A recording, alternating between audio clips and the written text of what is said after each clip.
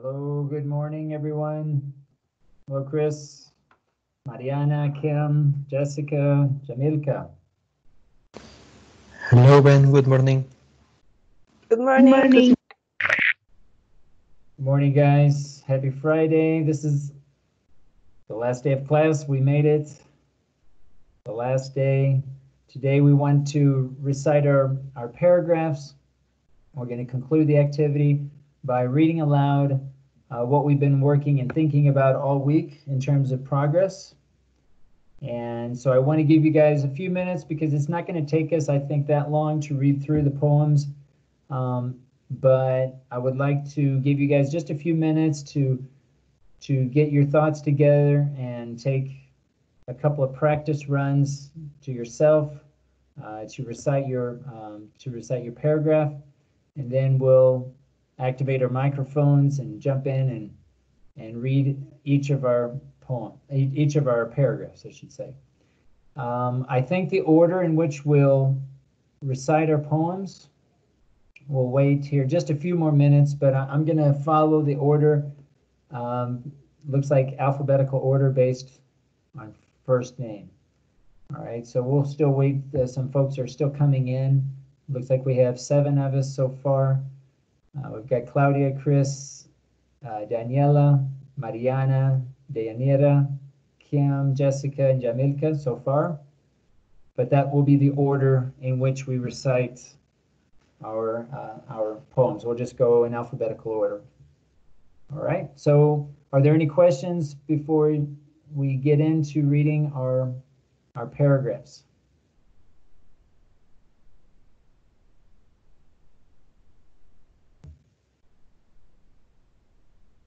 When you guys read your paragraphs, it's not necessary to read the citations, okay? You should have included citations, but you can uh, skip over those when you read it aloud. You can just read the text itself, and um, and that's it. Okay. So we'll start here in a few minutes. I think we'll start at about 9:15. Give you guys a few minutes again to practice reading aloud uh, your your paragraphs, and we'll start here in about 10 minutes or so.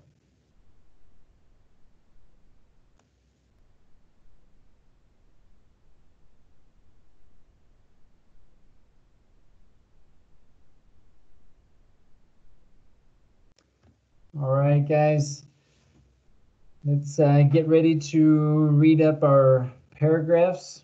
We're going to follow the the uh, this order. We're going to start with Claudia, then Chris, then we'll do uh, Danielle, Daniela, Mariana, Deyanira, Kimberly, Janet, Javier, Jessica, Marcela, and Jamilka.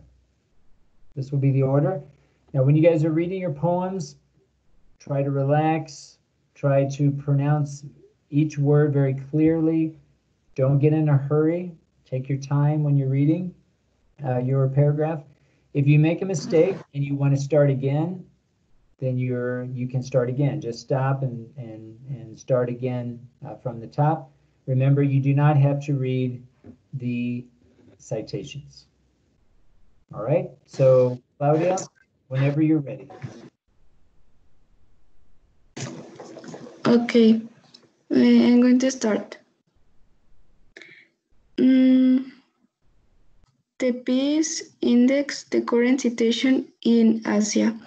The current situation of have peace and the social development in Asia, in Asia, sorry, organization noted a great progress in decreasing of wars.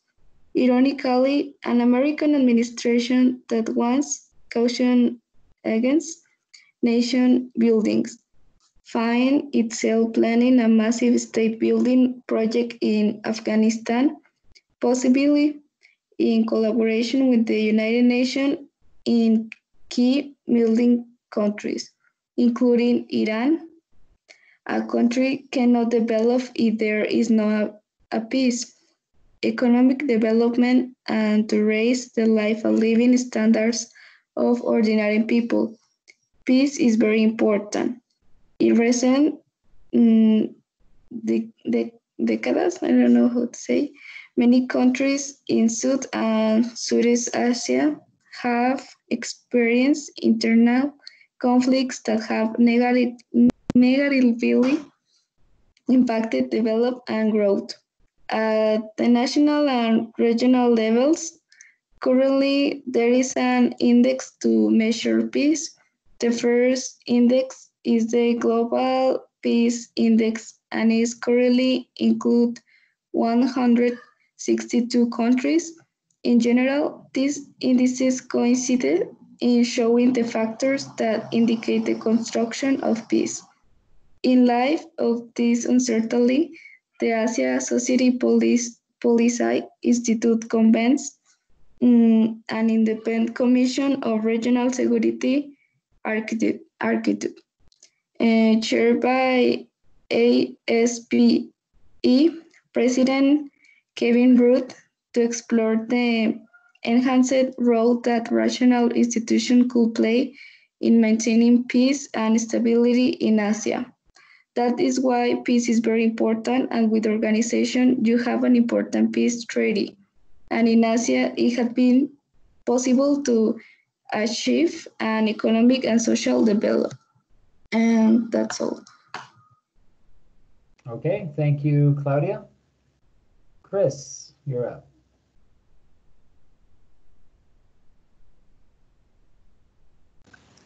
Yes. Um, illegalization of slavery from USA and its, and its existence nowadays. Slavery has been declared illegal through the years, but it is continuing exist nowadays. In fact, the estimated number of people living in conditions of modern slavery in the United States right now is 403,000. So there are lots of people who live in modern slavery conditions. These people live in conditions, condi conditions which do not allow them to avoid this abuse, or they are victims of kidnapping. Furthermore, through the use of modern slaveholders, it is easy to ensnare individuals and, for and force them into slavery, which renders them easily disposable. In this way, the real problem is how slaveholders adapt their actions to avoid detection. To summarize, because several countries do not have the enough resources to avoid these actions, slavery could exist for a long time yet.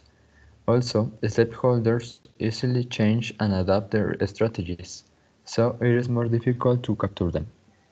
And that's it. Thank you, Chris. Danielle.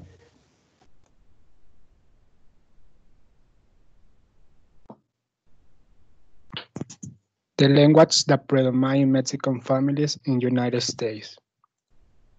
Latinos around United States have different perceptions about what American citizens think about Latino language. There are 500 million Latinos in the world, with 32 million Latinos in the United States. For example, in the United States, most of the Latinos are from Mexico, and they speak Spanish. Therefore, Mexicans have a low average of speaking and learning English. It is estimated that approximately one in every five children in the US come from homes where at least one parent is foreign born. According to this information, the language is a big factor of increasing new abilities for children because they need to try to achieve skills for learning English in school and avoid using their native language or the language of their parents. In summary, the native language of Latinos has a green path when they move to the United States because they need to have a progress of learning, listening, and speaking English according to achieve the American dream. That's it. Okay, thank you, Danielle. Daniela.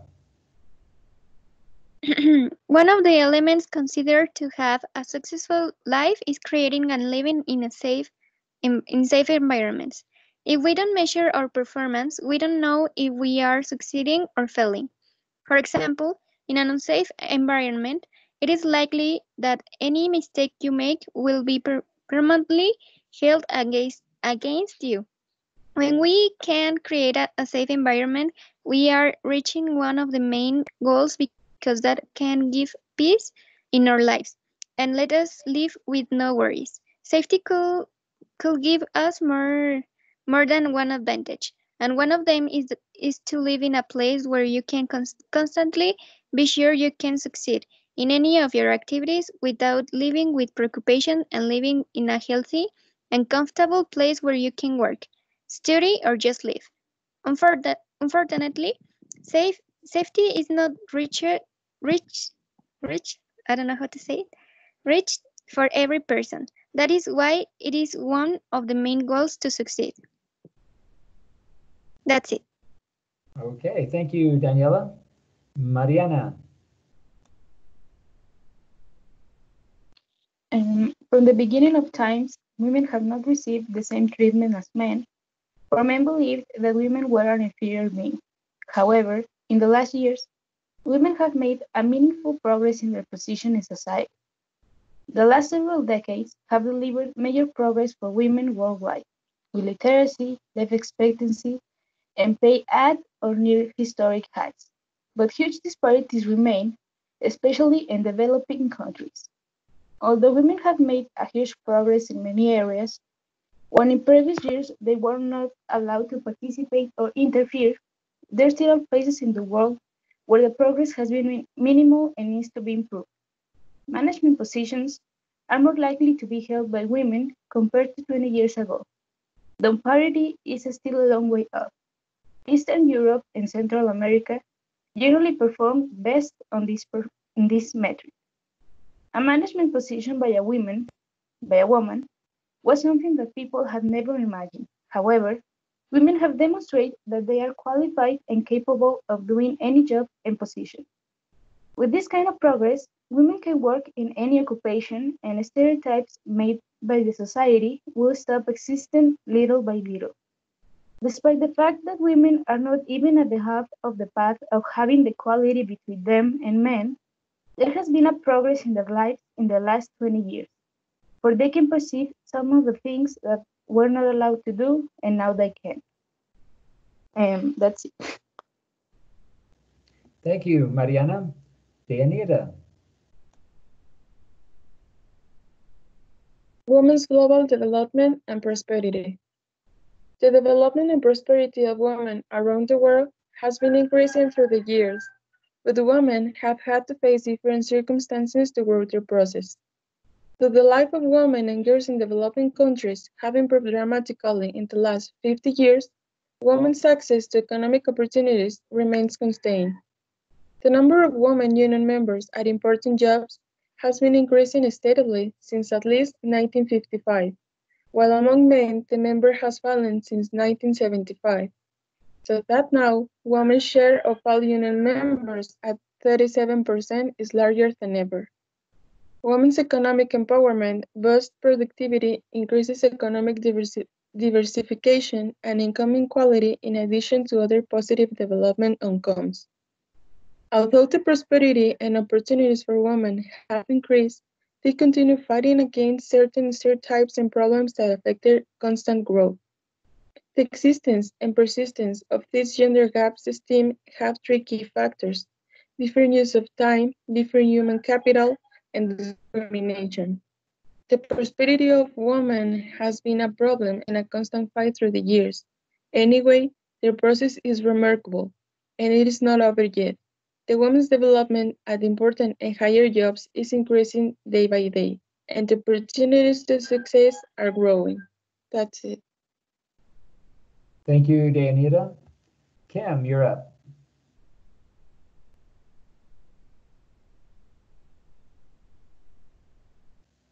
Uh, Kim, you're up. Are you ready?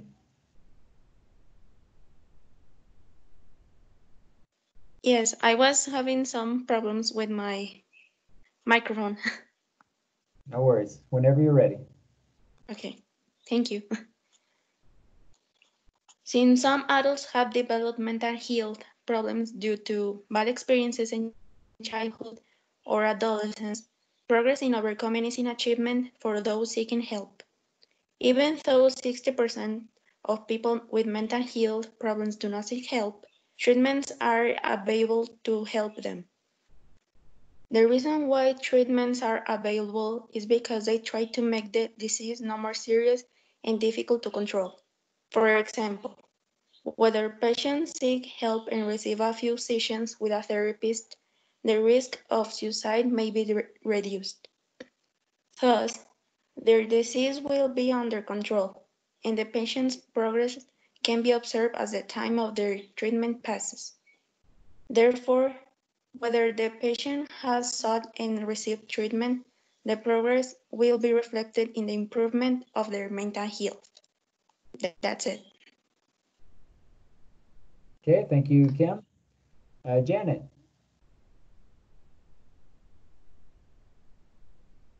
Peace has been a missing element around the world since many years ago. Even if the humanity has been fighting for peace, there are still people living under bad situations. All conflicts are different with their history and reasons. Inequality within societies and between regions has become a key cause of conflict.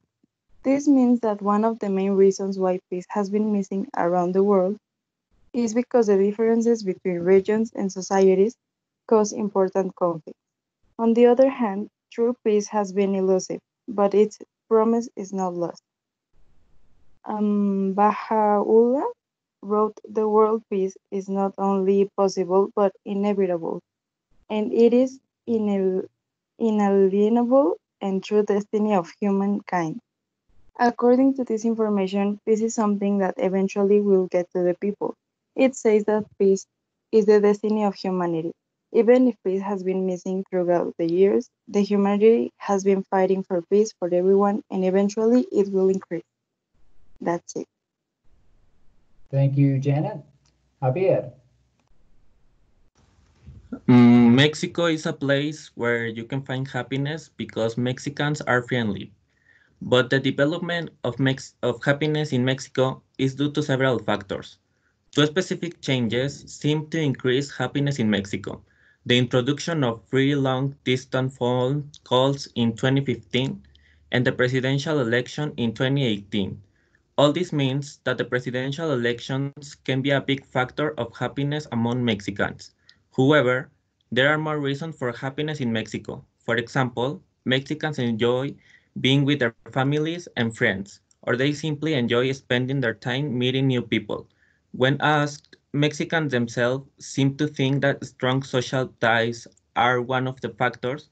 Indeed, many people have very active public lives because they are friendly people. This means that Mexicans are sociable people because they are looking for doing new relationships with other people when they have the opportunity. There are many other factors that make Mexicans happy, but these are just a few examples.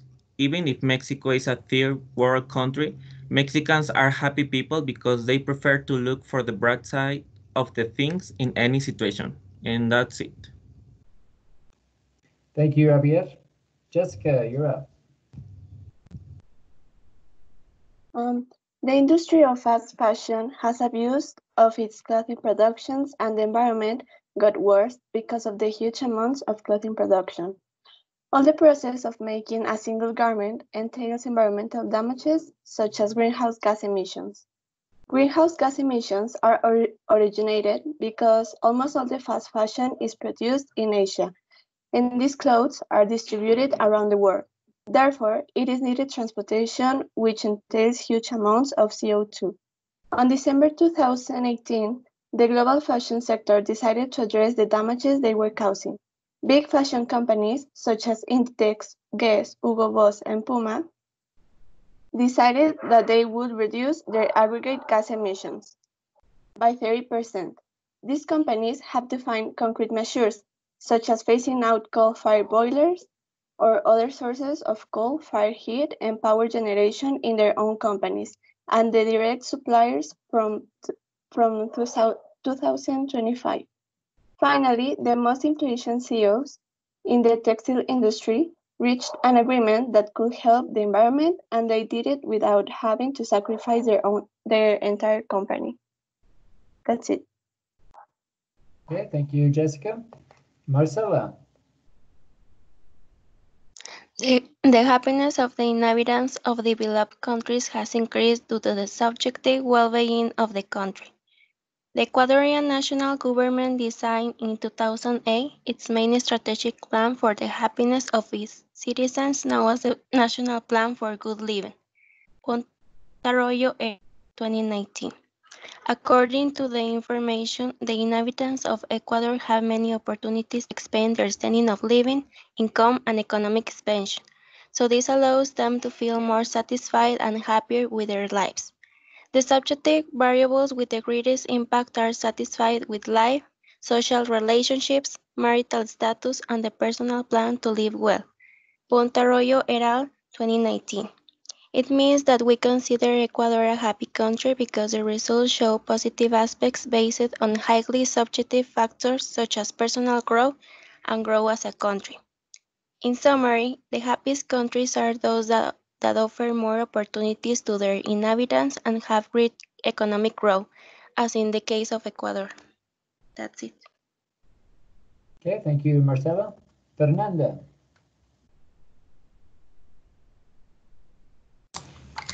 Extreme poverty seems to be one of the social issues which are getting worse and worse, but many countries around the world are progressing significantly. According to the International Poverty Line, people who live on less than 1.90 per day are considered in extreme poverty. The, the poverty line is based on a series of conditions that a person lives and is considered an accurate measurement tool to compare the progress in this problem. Over the years, statistics have been showing progress in extreme poverty since global health and the expansion of global education have been proved. Two, poverty is one of the worst issues in the world, so progress and solutions depend on a lot of other goals as health and education. Extreme poverty is far from being a simple problem and from being solved completely, but people cannot reject the significant progress increased around the world. All right, thank you, Fernanda. Jamilka.